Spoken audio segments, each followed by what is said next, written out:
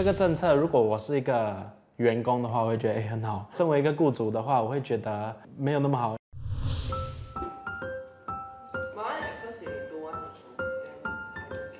这对年轻夫妇育有一个两岁的女儿，接下来还打算生多一胎。他们觉得陪产假和父母共用的产假增加，对他们还是有不小的帮助。为母亲刚生育的时候，就可能呃情绪没有那么稳定，所以可能会需要丈夫的陪伴。有了那个比较多的那个陪产假。嗯，可能会对母亲比较有帮助，就是其实是可以安抚母亲的情绪，还有那个可以帮宝宝更容易适呃适应那个家庭这样。嗯。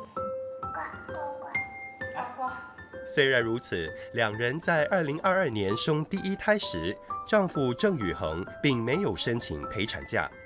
他是老板，自己开公司很难请假。我就没有办法。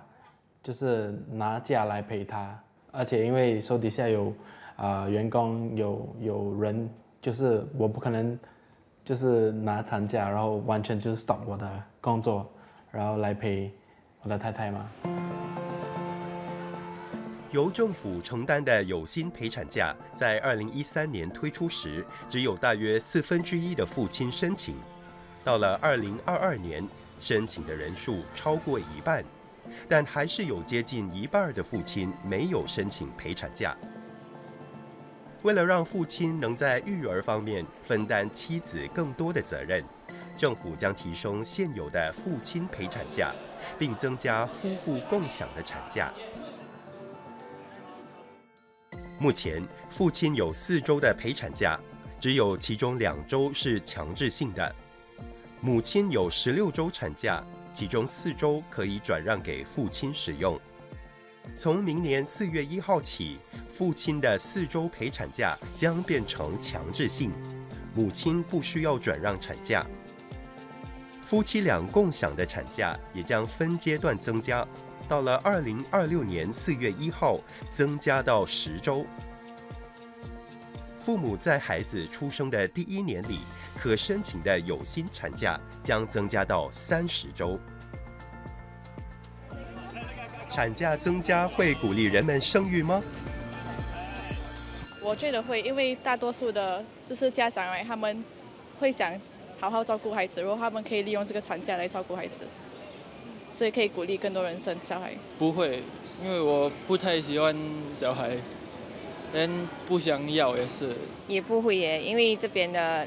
哎，生活的需求那些啊太高了啦，生活的那个 cost 啊那些都很高，所以也不会想要再生第二个。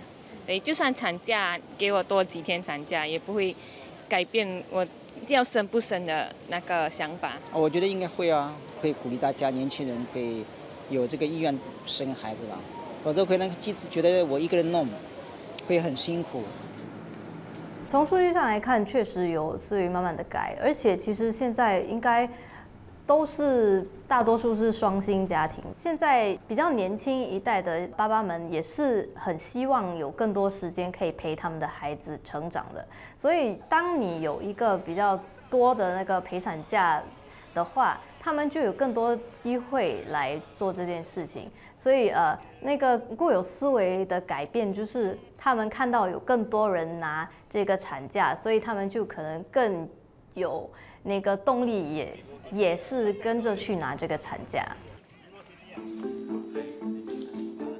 身为一名老板，郑宇恒觉得这对小型企业会造成压力。这个政策，如果我是一个员工的话，我会觉得哎很好，因为我基本上我就不需要上班，但是我薪水照拿。但是如果身为一个雇主的话，我会觉得。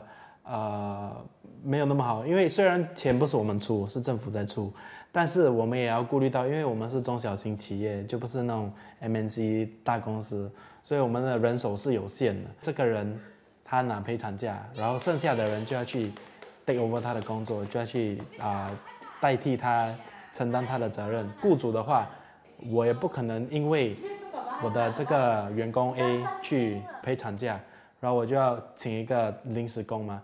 因为毕竟在新加坡的手艺活、手艺工来讲的话，我们要花差不多平均是然后一个月到两个月的时间去，就是训练他们、培训他们。所以把它当这个陪产假员工回来之后，连我这个训培训好的人就来没有意义了吗？所以这个不单单只是改变个人的这个心态，也是改变整个企业、整个经济对这个国家的这个政策、社会的这个政策怎么样去补助啊？比方说，孩子们到了小六会考中四欧水准考试的时候，父母们可能会很紧张啊，他们需要怎么样去在工作上做一些调整啊，来配合他们孩子去呃去年终考试，所以在。种种种种不同的方面都需要做出一些调整，所以那呃，这个不是一个只是改变一个政策啊就可以提倡的。我觉得除了生以外，其实养才是最难的部分。我会比较注重，就是诶，之后我的孩子在成长这个阶段会有什么，就是他成长的过程，尤其是一到可能中学，就是。宝宝从零岁到十四岁，诶，十四嘛，十六岁的这个阶段，我可能会比较着重。总理在演讲中提到，政府会继续建设更多学前教育中心，并且让学费更负担得起，较低收入家庭将享有更多津贴。政府也正在为育有多个孩子的大家庭制定援助计划，详情有望在明年预算案公布。